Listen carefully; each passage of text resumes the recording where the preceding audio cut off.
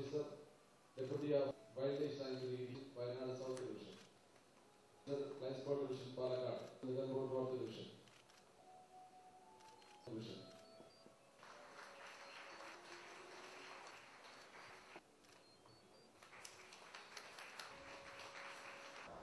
കർഷകരുടെ താല്പര്യം പരമപ്രധാനമാണ് എന്നത് നാം തിരിച്ചറിയേണ്ടതുണ്ട്.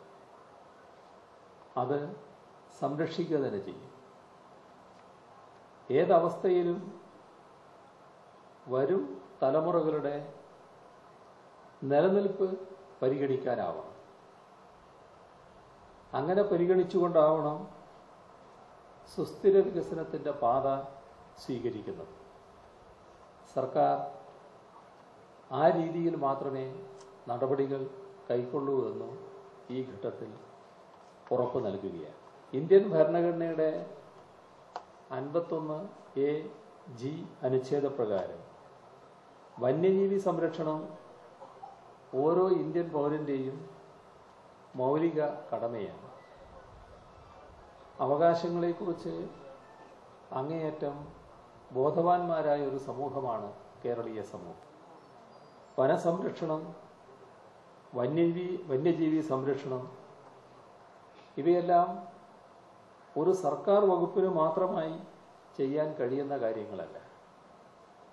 പൊതുജനങ്ങളുടെ സഹകരണവും പങ്കാളിത്തവും കൊണ്ട് മാത്രമേ വന്യജീവി സംരക്ഷണം സാധ്യമാവുകയുള്ളൂ. പുരോഗതിക്കും നിലനിൽപ്പിനും വേണ്ടിയുള്ള നമ്മുടെ പരക്കം പാച്ചിലിൽ ലോകമെങ്ങും ഒട്ടനവധി ജീവജാലങ്ങൾക്ക് വംശനാശം സംഭവിക്കുകയും അവ എന്നേക്കുമായി നമുക്ക് നഷ്ടപ്പെടുകയും ചെയ്തിട്ടുണ്ട്.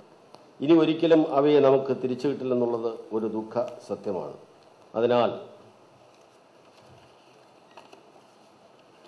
ശേഷിക്കുന്ന വന്യജീവി സമ്പത്തിനെ സംരക്ഷിക്കേണ്ടത് നമ്മുടെ എല്ലാം കടമയാണ്.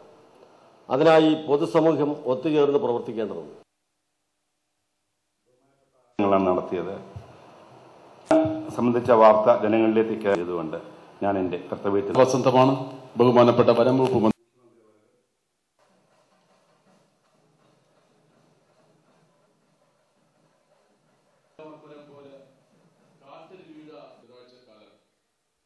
ചുറ്റുമായി മടങ്ങാനാണ് ഇന്ന് ഈ വർഷത്തെ വന്യജീവി സംഭവിക്കുന്നത് ബഹുമാനപ്പെട്ട അറിവും വന്യജീവി സംരക്ഷണത്തിന്റെ വിജയഗാഥകൾ ഓർമ്മ എത്തിക്കഴിഞ്ഞു. ഈ ചടങ്ങിൽ അധ്യക്ഷത വഹിക്കുന്നത്